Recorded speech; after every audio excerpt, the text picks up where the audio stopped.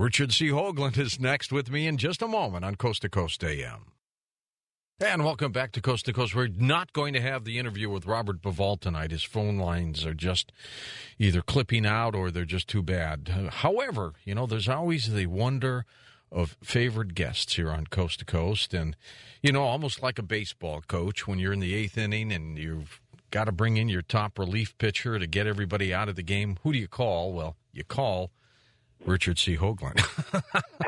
hey, Richard, how are you? Uh, George, you're going to owe me one for this. I, I, know that. I bet you were comfortable, you were eating, you were ready to go to sleep, and uh, probably listening to Coast to Coast in bed. And and I didn't even get to the part where Robin showed me this really interesting new green thing she was going to wear tonight. Uh huh. Uh huh. And uh, I know how you love to prepare for a show. Like preparation, yes. But this time we're going to dance together, Richard. Uh, hey, okay, lots going lots going on out there. But I don't know if you saw the story about Saturn today that they have found some partial rings. Yeah, ring arcs like we found with Voyager about thirty some years ago at Neptune. It, it is amazing to me, Richard, how they continue to find these new things out there.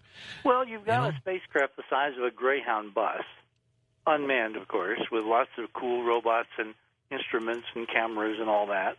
You got plenty of fuel. You're in space where things, technology lives forever. I mean, you know, there are spacecraft orbiting the sun, still relaying data to NASA and JPL that were launched over 40 years ago. That's right. They're still functioning. They're still, you know, so I mean, there, there was a really nasty pre-Gloria Steinem joke that was, you know, told around the Hughes Aircraft Company, which built a lot of the um, early communication satellites.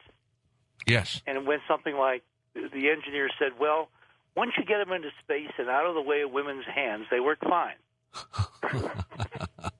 this was a 1950s engineer at Hughes. Oh, th- that's right. Exactly. Yeah, they didn't yeah. quite understand. different day, different time, different era, different politics. So true. Yeah, Sarah, don't get mad at me. So true. and now the Chinese, they're going to launch again? Chinese are launching again. They're coming up on their annual anniversary. So, of course, what they're doing is building through these launches a step by step compressed timeline, like we did in terms of going to the moon with Mercury and then Gemini and then Apollo. Except they've got a much more uh, uh, capable spacecraft.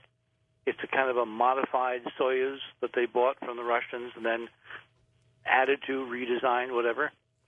And remember, you and I did a show several years ago when they launched their first taikonaut, Yes. Chinese for astronaut, and I said that they could take that to the moon at any moment. Yes. We, we were baffled at, at least I was, maybe you already knew, at how fast with the latest technology you can go.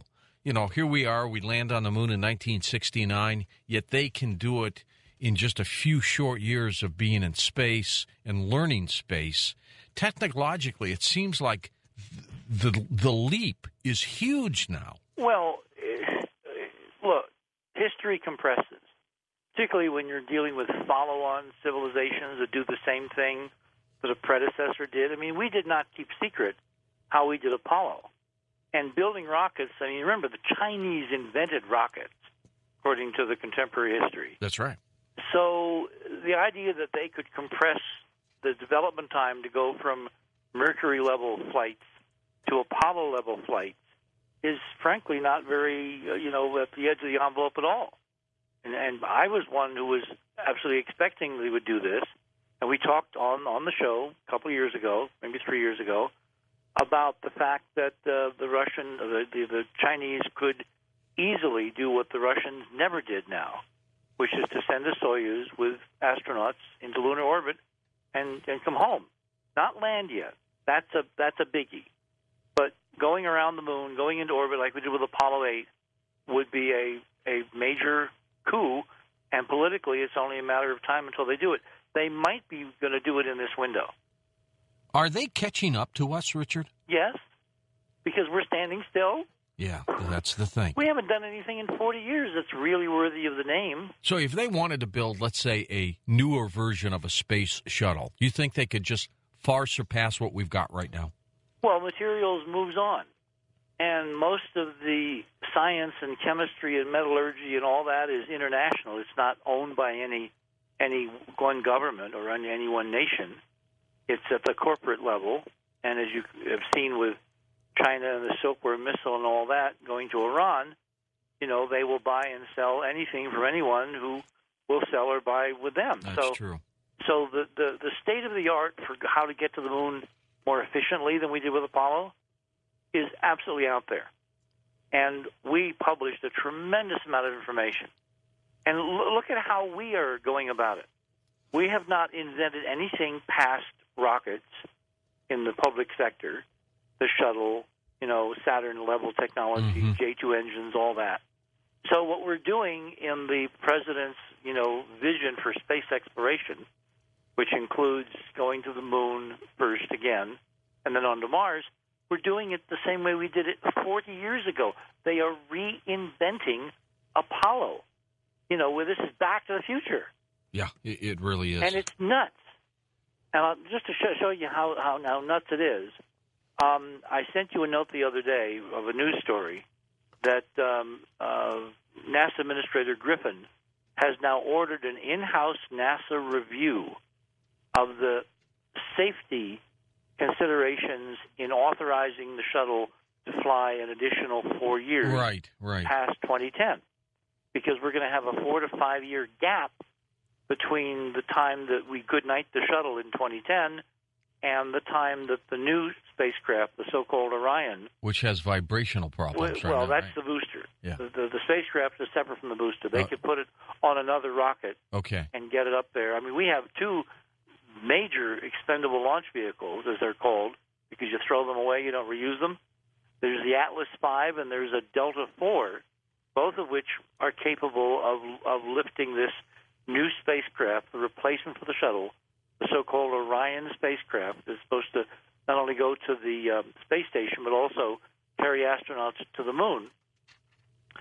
If we were to switch from Griffin's decision to build an entirely new launch vehicle from the ground up, used loosely based on shuttle level technology, except it morphed so that it's no longer based on almost any shuttle technology. A whole bunch of stuff has to be invented, designed, man rated, all incredibly expensive. We're going to spend in this country in the next projected five to ten years something like $15 billion a piece to develop these two new vehicles called Ares 1 and Ares 5. When in fact, in the stable, courtesy of the U.S. Air Force and NASA in previous programs, we have two incredible existing launch systems which could carry certainly the uh, Orion spacecraft to the, to the station and don't have to be paid for. The development money has already been amortized over the normal uh, R&D funding of these programs. And and what about the Black Ops programs, this hidden space program that you have always That's a totally Yeah. separate discussion. You know, I'm only talking about NASA. Okay. What we think we're spending on NASA. You know, we don't have time this evening to get into the secret space program. And- What do you mean? I, I could keep you here all night with me if I wanted to. Say again? I could keep you on here with me all night tonight if I wanted to.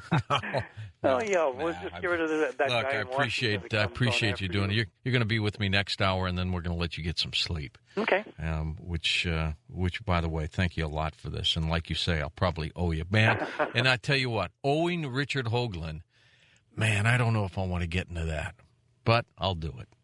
I'll do it. And next hour, I want to talk with you about CERN too. It's going online in, on on uh, Wednesday of this week. We'll talk next hour with you about that. But you were on earlier with us last week talking about the Rosetta European Space Probe, which was going to go up there and uh, hook up with Steins, the asteroid, which it did. Which it did. Unfortunately, we had a blurry picture of it. Uh, but it is amazing to me that technologically they can send spacecraft, reach a point of a speeding asteroid, get there, either land on it or be right on it. I mean, technology is amazing. The European Space Program, how would you rate its technology to what we have? Well, the, the the two programs, the the white program is one that we get to see. The ESA program and the NASA program are basically comparable. I mean, we've done very similar things first to what the um, uh, ESA spacecraft has done. The thing that's really interestingly different is that while NASA puts out a lot of stuff now in real time, particularly when those of us that were quite vocal around Mars Observer really kicked the traces over and